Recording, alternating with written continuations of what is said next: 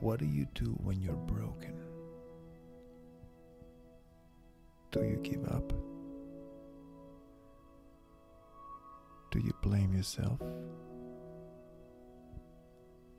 Do you blame others? Do you give up on your dream? Or do you just walk away?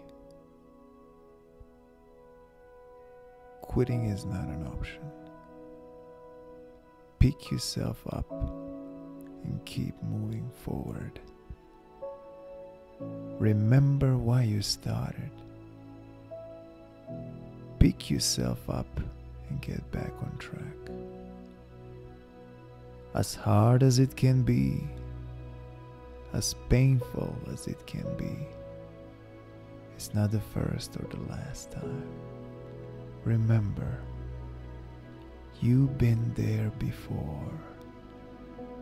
You've been at the very bottom before.